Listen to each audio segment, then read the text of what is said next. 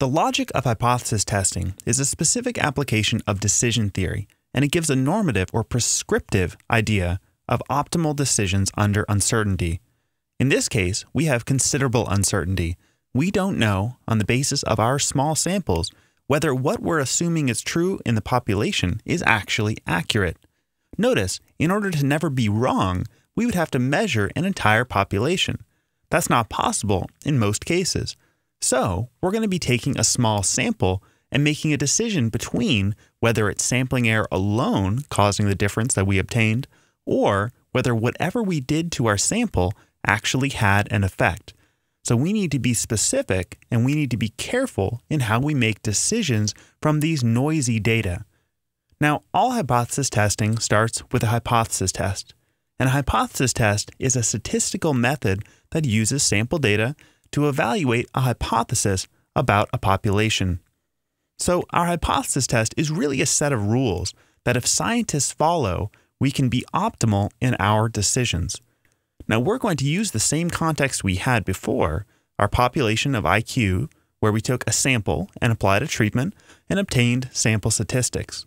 But let's step through more formally our set of processes about forming an evaluation of our hypothesis that our treatment had an effect. Now, hypothesis tests can be laid out in several different steps. We're going to lay it out in four for this module. First, we always form a statistical hypothesis. In fact, we're going to have multiple hypotheses and we're going to decide between competing ones. Next, we're going to make predictions about what we should obtain and establish a standard of evidence. This is a very important step. We must establish what our standard of evidence is before we see data. In part, this is to keep us honest, and in part, it's to keep science free from bad results. Next, we're going to test our hypotheses by collecting data and forming what we'll know as a test statistic.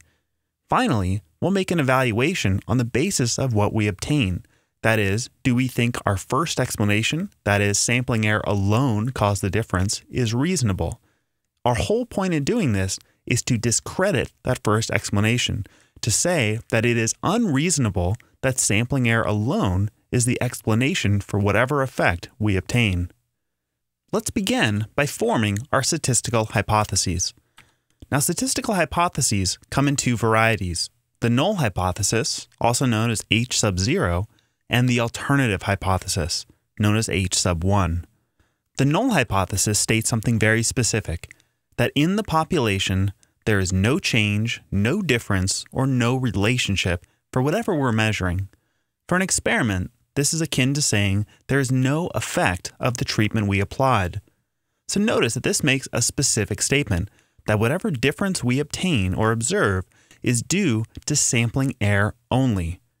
Remember, this is the same thing as that sampling error only explanation. We've just given it a name. And the null hypothesis has a very critical place in science. It is the explanation we are obligated to use if it is reasonable. Because notice, this is the most parsimonious explanation we can have for any difference obtained. Because this explanation makes no statement about anything else happening in the world other than something we know will always happen in the world. Sampling error is always going to happen when we take a sample from a population. Our sample statistics will not match the population parameter.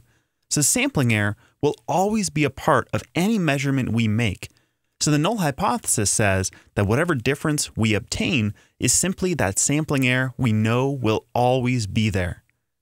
Now let's take a step back and think about why we should be obligated to use the null hypothesis if it is reasonable. This goes back to a 14th century Franciscan friar, William of Ockham, who said, Entia non sunt multiplicanda praeter necessitatem, or entities must not be multiplied beyond necessity. Many of you know this as Occam's razor, and a razor in philosophy is simply a method for deciding between competing explanations. This razor says that we have an obligation to parsimony, that if there is a simple explanation that requires no other stipulations about the world, then we should use that explanation because it simply is the most parsimonious. It says, in essence, that we should use the simplest explanation as long as it can reasonably account for whatever we have observed. So the null hypothesis is a very special thing in science. It is simply an instantiation of this razor, that we should use it if it is reasonable. So our purpose as scientists is to discredit the null hypothesis, to say in some way that the null hypothesis isn't reasonable, that whatever difference we obtain isn't reasonably attributable to sampling error alone. Now, on the other hand, the competing explanation to the null hypothesis is the alternative hypothesis, or H sub 1. This states that in the population, there is a change, is a difference, or is a relationship. For an experiment, this means an effect of treatment. The alternative hypothesis can also be thought of saying that the difference we observe is due to sampling error, which we know will always be there, plus some real effect. So, the alternative hypothesis is what we as scientists, if we're doing some type of study, usually want to show is a better explanation. And remember, to do this, we're going to have to discredit the null hypothesis because believing the alternative hypothesis will add some entity to the world. That is, we will be adding to our explanation something other than just sampling error. And given our preference for parsimonious explanations in the world, we will need some amount of evidence in order to discredit that null hypothesis before we can start believing the alternative hypothesis is true.